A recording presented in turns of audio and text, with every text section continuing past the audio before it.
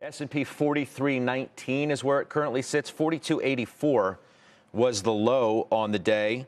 Let's bring in somebody who suggests the S&P, in fact, could go below 4,000.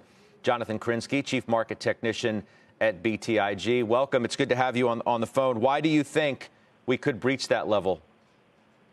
Hey, Scott. Yeah, well, so we've been pretty consistent on your show the last few weeks. There's really two main reasons.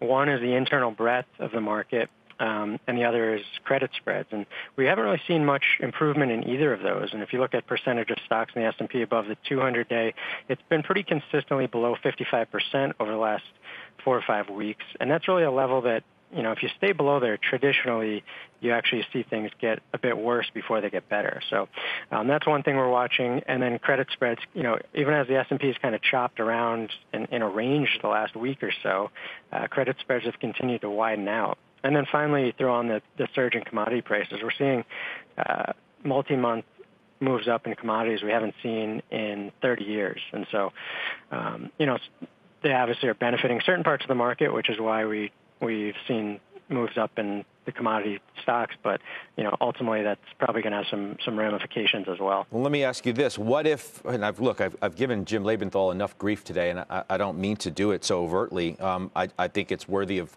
questioning calls to the, the nature of how aggressive his is. What if he's right? What if there is a solution in a couple of weeks to use his time frame in Ukraine? Does that change the calculus for stocks wholeheartedly? We don't think so. I mean, if if you look internally, you know, and we've talked about this before, but there's a, a lot of the market peaked over a year ago, and then a lot more of the market peaked in November, December, January before uh, really Russia-Ukraine came to the front headline. So certainly it could give a, a near-term pop. You know, also the commodity moves.